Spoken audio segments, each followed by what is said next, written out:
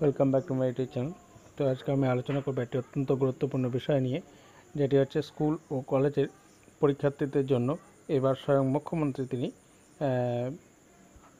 কিছু ঘোষণা করেছেন।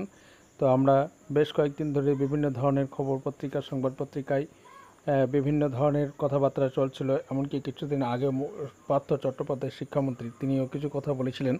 কিন্তু এবার সব কিছু ছাড়িয়ে আমাদের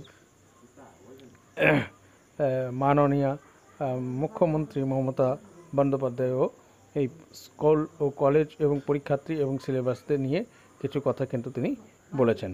তো সেটাই ডিটেলসটা যাব তার আগে ঘটনা হচ্ছে যে প্রত্যেকে আপনারা অবশ্যই আমার চ্যানেলটি সাবস্ক্রাইব করবেন, আর যারা করেছেন অসংখ্য তাদেরকে ধন্যবাদ।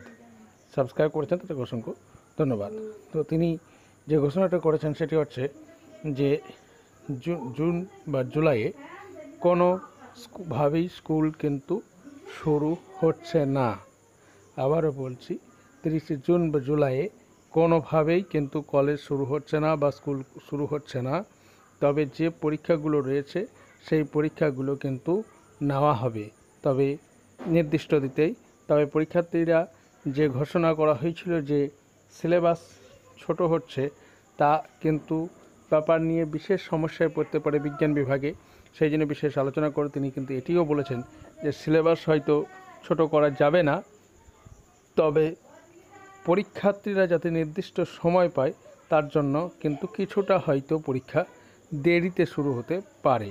তো এই ধরনের একটি আভাস কিন্তু দিয়েছেন। কাজেই যারা বাড়িতে রয়েছো, পড়াশোনা চালাচ্ছ, তারা কিন্তু প্রত্যেকটা বই পাই টু পাই ভালোভাবে পড়াশোনা করো। না হলে কিন্তু তোমাদের ভালোভাবে রেজাল্ট হবে না। তো সেই ঘোষণাটি করেছিলেন, আজকের ঘোষণা এটুকুই পর্যন্ত। ভিডিওটি ভালো লাগলে অবশ্যই লাইক কমেন্ট শেয়ার করতে ভুলবে না। ভিডিওটি শেষ পর্যন্ত দেখার জন্য ধন্যবাদ।